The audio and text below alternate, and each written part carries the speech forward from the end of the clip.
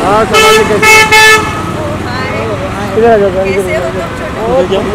Ma'am आओ साथ में इस साइड में इधर इधर इधर बाहर जाओ हाँ, आज हम लोग एक जैसे दिखते हैं बहने ना तो दिखते हैं ऑफ़ कोर्स तो आज रोज डे था तो हम आए हैं यहाँ पे एक छोटी सी डेट पे हम सिस्टर्स हाँ एक दूसरे को रोज देंगे। एक दूसरे को रोज देंगे। दे दो रोज वेरी गुड रोज किधर है।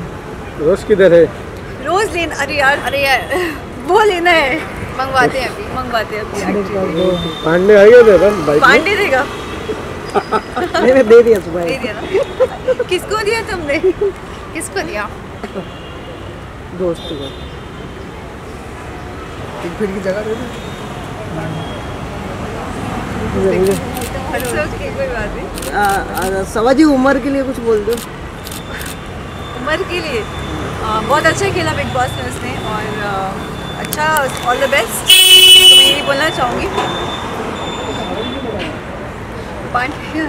तो कुछ नहीं मैं क्यों मैम बिग बॉस जीती है तेजा उसके ऊपर कुछ हाँ मैं चाहती थी यार तुम लोग से मैंने बोला था लास्ट टाइम पे। एक्चुअली शमिता को जीतना चाहिए था हम दोनों उसको ही सपोर्ट कर रहे थे बट ठीक है तेजा जीत गई।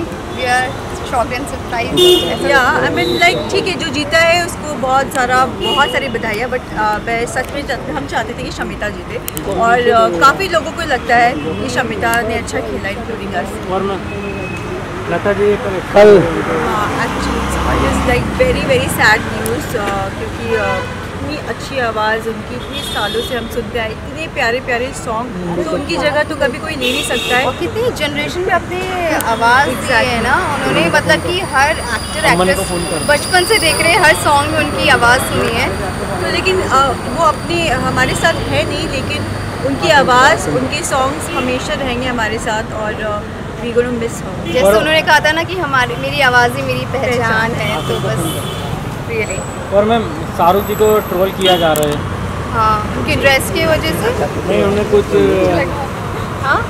लता जी के ऊपर जो दुआ पड़ गया दुआ पड़ पब्लिक बोले उन्होंने तो, फूका था। तो यार इसमें ट्रोलिंग की क्या बात है? बहुत अच्छी बात है और हम हम एक्चुअली जो बेसिकली मुस्लिम्स होते हैं वो दुआ पढ़ते है। ये यहाँ पे हिंदू हो या मुस्लिम ऊपर वाले को तो अलग अलग तरीका है तरीका होता है, तो एक ही होता है ना ऊपर वाला अल्लाह तो एक ही है ना।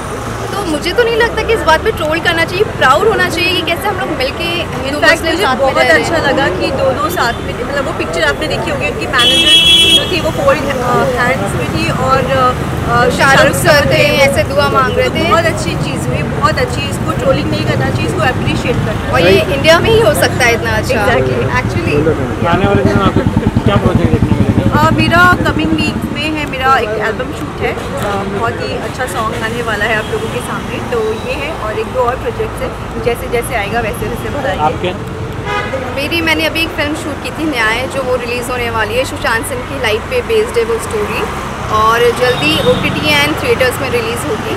सेंसर हो गई है वो फ़िल्म क्योंकि बहुत सारे केसेस भी हुए थे जेनवन है। सुशांत की लाइफ में तो डिफ़िकल्ट रहा वो जर्नी उसको क्लियर सेंसर कराने का बट अभी जल्दी वो ओ टी टी पे और थिएटर्स में रिलीज़ हो जाएगी।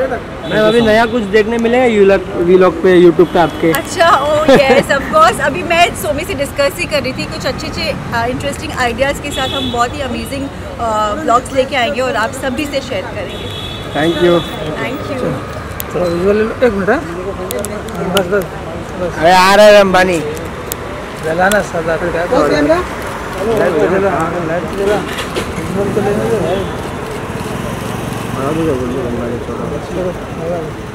thank you thank you so much thank you thank you thank you और शायद आप कैसे आपके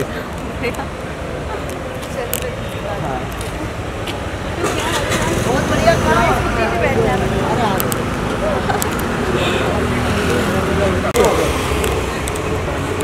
अरे क्या करते हैं खूब ही। ना क्या यार मेरे को डर लगा ठोक दिया Oh God! I'm scared, yeah. I was scared. आपको आना है? नहीं नहीं जाओ आ जाओ आ जाओ। एक जाओ। नहीं एक्चुअली मैं डर रही हूँ। जान दो जान दो फिर कभी और हाँ? आ जाओ ये चांस बहुत कम लोग को मिलता है। अच्छा।